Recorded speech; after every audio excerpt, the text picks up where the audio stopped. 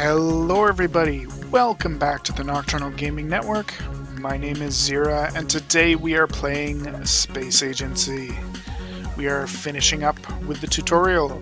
We are really close now, only a couple more missions, and then we will begin the regular missions. So today is episode number 9, or tutorial number 9 Power Management.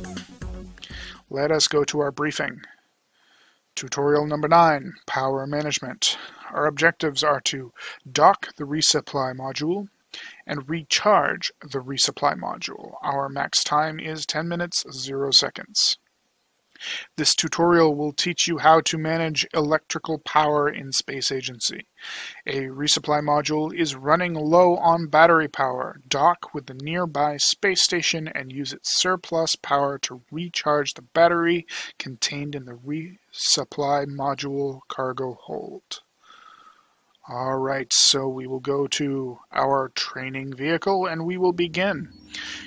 The battery in our resupply module is running low on power. We're going to dock with a nearby space station and use its solar power to recharge. Dock the resupply module with the space station.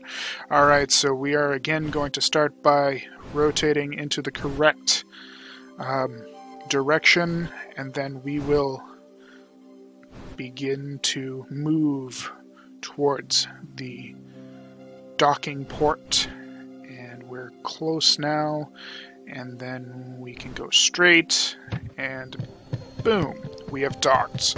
Cool. Now we need to see what's going on inside the space station. Open the Docking view selector. Successful. Switch to the power view. Ah, the power view. The panel at the bottom of the screen shows the power status of the selected vehicle or module. You can see how much power the module is using, how much it is generating, and how much it is supplying to the other modules. Although we have docked, our battery isn't charging. That is because the module hasn't been hooked up to the space station's power grid. Every docking point has a power switch. Tap the switch to toggle it. So we will tap it, and now it is green, which means we are connected. Excellent! The resupply module is now connected to the station's power grid. The charging light is flashing, and you can see the battery percentage is slowly increasing. It's taking a while, though. It'd charge more quickly if that second solar panel was online. Let's see if we can do something about that. So, we must tap the solar panel to select it. To open a solar panel, you first need to connect it to a power source. It needs some initial power to operate the motors that will open it. Tap the switch to connect the solar panel to the station's power grid. Okay, we have done that. Great! The power button has lit up now, indicating that the power panel the panel has power available. Press the solar power panel. Press the power button to open the solar panel. And there it is. And voila! Well done, the space station is now operating at full, full power.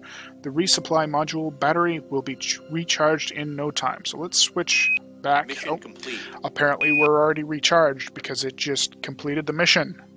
So that was gold in 2 minutes 30 seconds. Wow. At a cost of $0 million. Wow, all of these training missions are so cheap. It's like they don't cost anything. Alright, so next time when we come back, we will learn about refueling, and then only one more to go before we can start the actual missions. Thank you all so much for watching. My name is Xeriua. This is the Nocturnal Gaming Network. Have a wonderful night.